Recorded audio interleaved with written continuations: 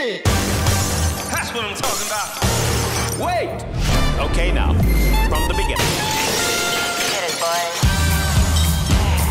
Today, we're in the famous Beverly Hills, about to meet with the beautiful Stefanie Gurzanski in real life. Welcome to one of the Baby G Meg mansions. It is stunning. I do have a very exciting, jam-packed day for you today. I feel like you might have had a bit of a stressful year.